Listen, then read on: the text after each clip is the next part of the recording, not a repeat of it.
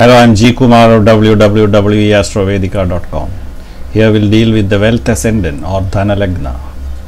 In a pragmatic or a business world, people are more bothered about material benefits than self actualization.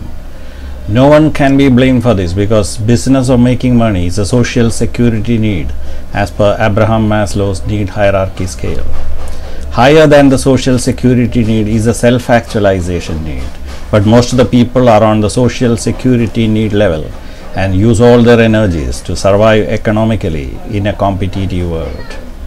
Zodiac Advanced Astrology, being more pragmatic, have come out with the concept of wealth ascendant or Dhanalagna. Well, different ray numbers have been assigned to the seven revolving heavens. They are Sun 30, Mars 6, Jupiter 10, Merc- uh, Moon 16, Mercury 8, Venus 12, and Saturn 1.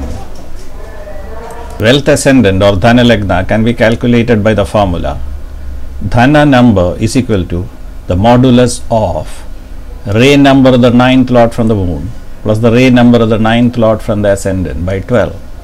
Dhanalagna is equal to moon sign plus Dhana number.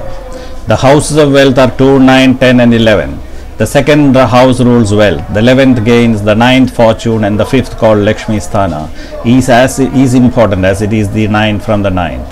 If these if the lords of these houses combine by association, they should be within 12 degrees. Aspect of mutual interchange, it can make the native a millionaire. If the Dhanalagna is devoid of malefics, it will make the native a millionaire. शोभन गगे लक्षाधिपम कुर्वते if a main malefic ten and dhan lagna it will make the native a if the malefic be exalted a millionaire is born